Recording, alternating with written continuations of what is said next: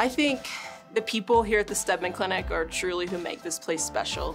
I always thought I would do this later on in life, and I'm so glad I did it now. And I'm so glad that I came here to Steadman. And actually get hands-on with these patients, and you get to see a lot of things that you don't necessarily get to see in the traditional setting. I think my clinical highlight was on Dr. Godin's service, and I'd finally gotten like my, this is for sure a Lachman's. And then he came in, he was like, yeah, that was great. And so that just felt really good. I have just been so impressed with the Steadman Clinic physicians and how genuinely invested they were in me this whole year. I don't think the physicians realize how these moments like stick in our minds, but I have so many firsts with them, like they're, they're core memories.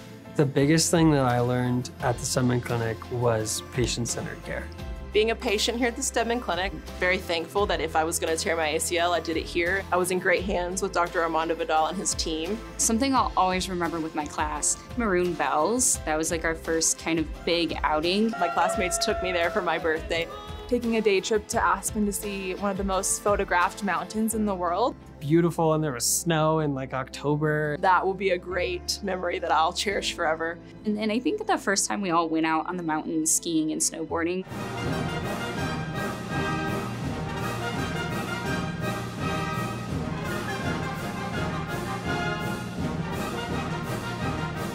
It was an experience because none of us knew what we were doing. It's, it's so fun to tell patients like, yeah, I live here now. And I traded the beaches for the mountains, but the mountains have been so good to me.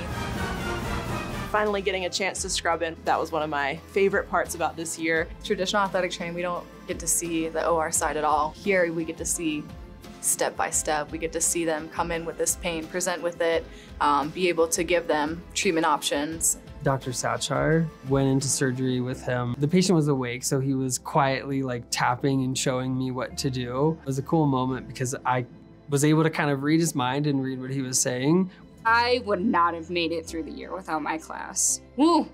This is the part that makes me want to cry. I didn't think I was gonna cry, but this might be where you get me. just thank you for being amazing. I know, I'm just very thankful for this whole experience. I'm not crying. But come hail and farewell, we'll see. I might, I might shed a tear because my six classmates have been really special. I'm thankful for being here. I feel like I've grown so much as a person. Preceptors, MD fellows, physicians are all to thank. Thank you, Brandy, for everything, and thank you to all the physicians. This has definitely been one of the best years of my life. Here at the Steadman Clinic has just been incredible. So I am very thankful that I've had this opportunity here.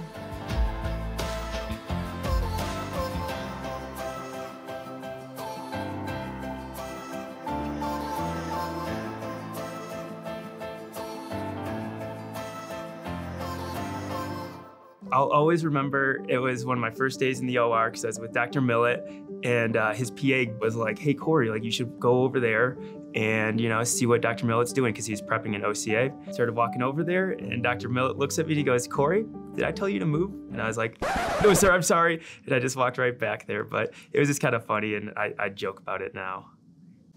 Um. It was scary. I'm not gonna lie.